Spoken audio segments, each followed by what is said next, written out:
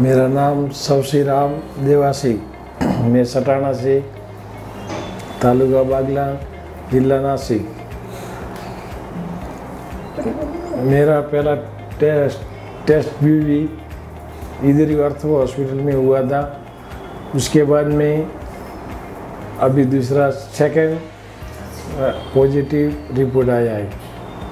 और सर के बारे में तो हमारे को रिस्पॉन्स बहुत अच्छा मिला।